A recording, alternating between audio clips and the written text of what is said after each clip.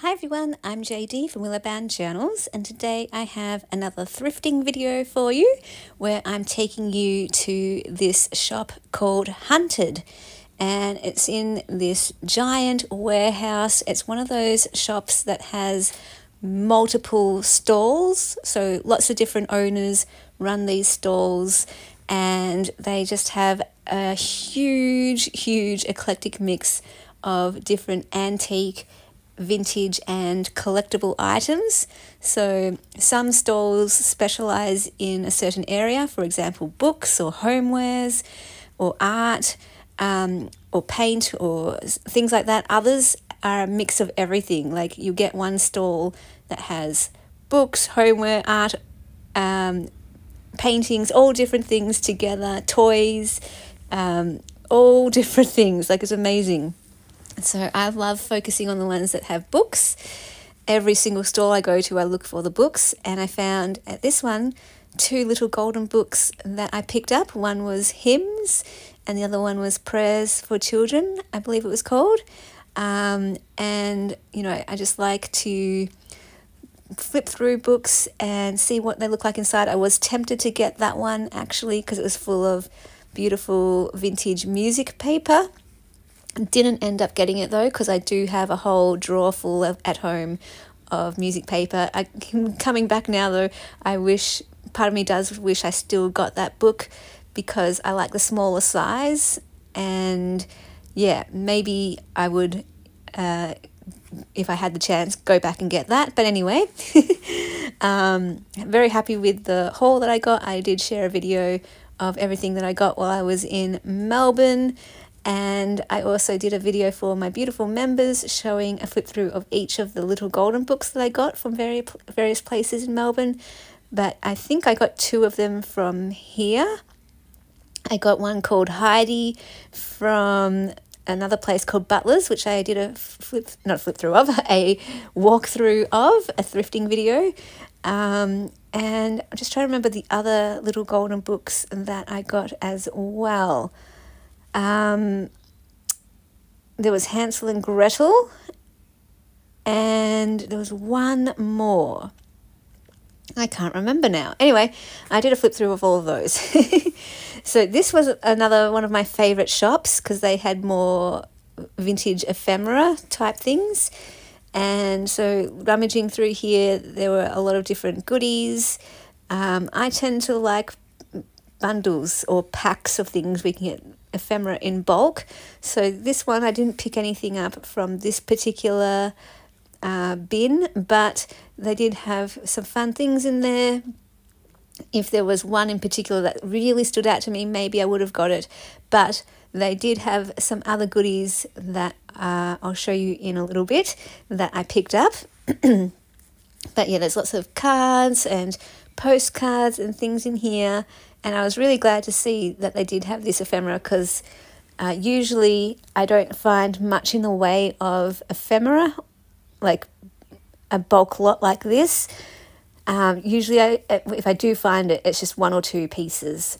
So over here, there's some more paper ephemera, and there was this vintage ephemera pack that I actually wish I ended up getting. I, I put it back. I was umming and ahhing over it. Um, but now looking back, that is another item that I was like, well, I could have got that. so, oh well, that's okay. That's for someone else to enjoy. But what I did get were these two doilies here with the bluebird because I love bluebird doilies. I collect them for personal, for my own self because that's one of my symbols. And then I got this beautiful one. Sorry, my camera work wasn't very good there.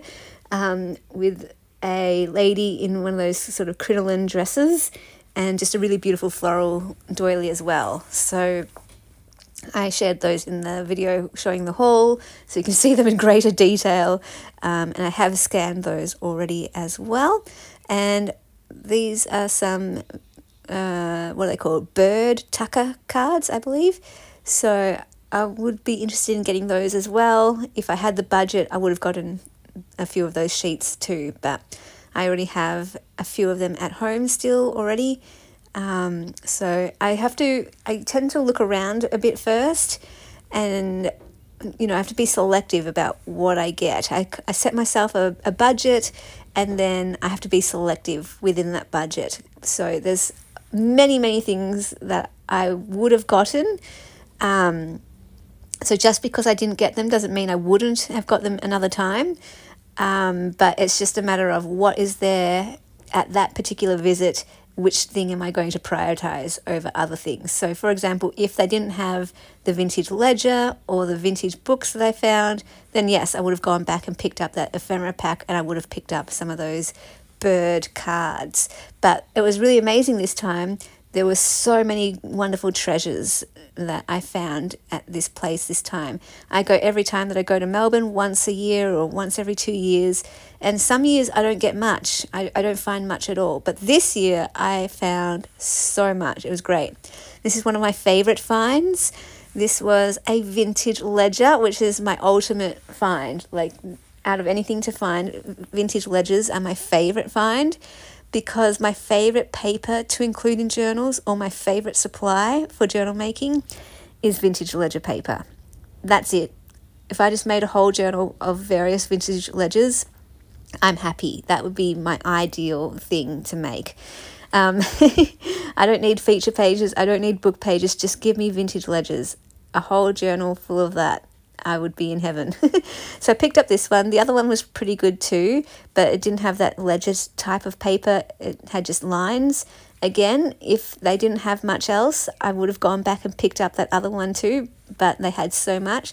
For example, this place I hit the jackpot. Not only did I get a vintage ledger, but look, the country diary of an Edwardian lady was there.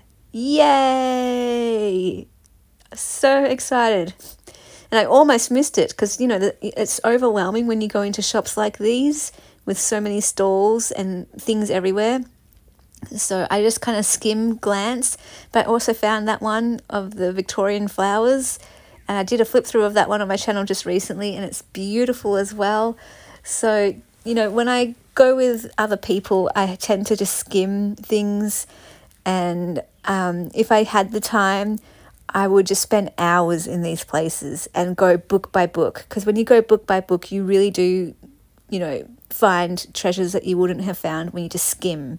And I often find if you take the time to open the book and look through, you definitely find more treasures than if you just skim it because, you know, sometimes the cover does not tell you what's inside. It could have the most boring cover, then you open it up and you find these beautiful illustrations. Uh, so, yeah, I wasn't able to really go through it all uh, page by page or anything, but I didn't need to because there were so many goodies, so, so many goodies.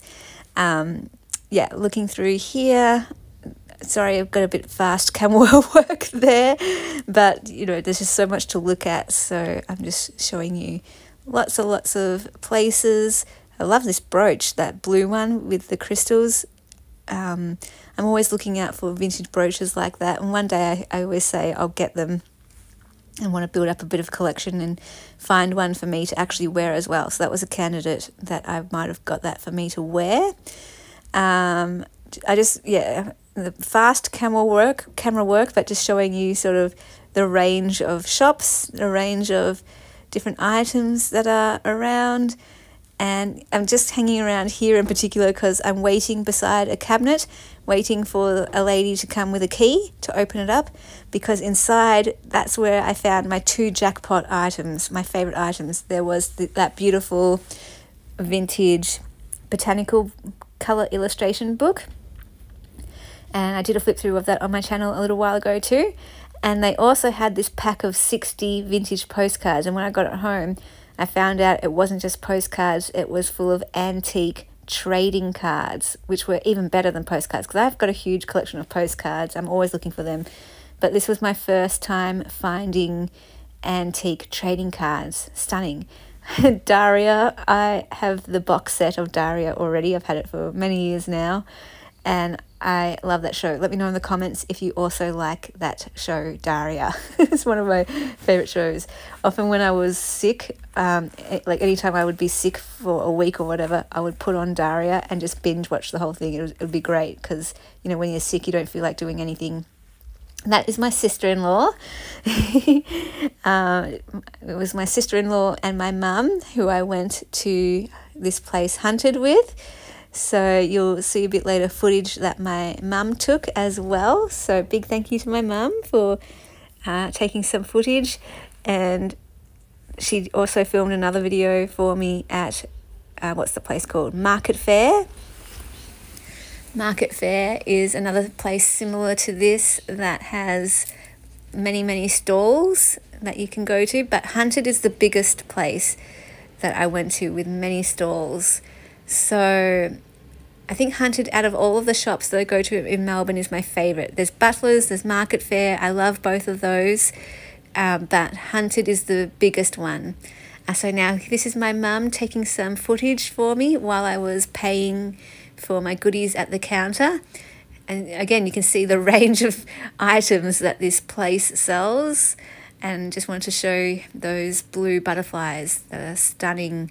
Um, so there's oh, lots of jewelry, lots of shops sold jewelry as well, um, records, um, um, what are they called? Like little playing cards. I got some of those from here as well. What else did I get there? Um, just trying to remember. I got the doilies. I got the, I got a whole bunch of books. I got some playing cards and I got that pack of postcards. Oh, I got the butterfly book as well that giant butterfly book with some gorgeous coloured illustrations that I want to go through. Um, and I've, oh, I do have an upcoming flip through of that as well. And yeah, really, really amazing shop. Here I am walking through Hunted, and I give you a bit of a sneak peek as well at the end of the items that I managed to pick up. I'm holding it all in my arms and it really did feel like the jackpot because this visit I got so, so many goodies. Look at this. So I hope you enjoyed this video and I will see you in the next one. Big thank Bye you guys. to my beautiful patrons who supported me in September. You are wonderful and I appreciate you so much. Thank you for believing in what I do. If you would like to become a patron, my Patreon website is linked down below in the description box and that's where you get access to all my extra videos including the uh, monthly Making a Journal series videos, plus all my printable kits from my Etsy are on my Patreon for the rubies. And depending on your tier level, there's mail that can be sent out to you, little happy mails or journals, uh, and that kind of thing. So thank you so, so much for all your amazing, amazing support and words of kindness and encouragement. It means so much to me.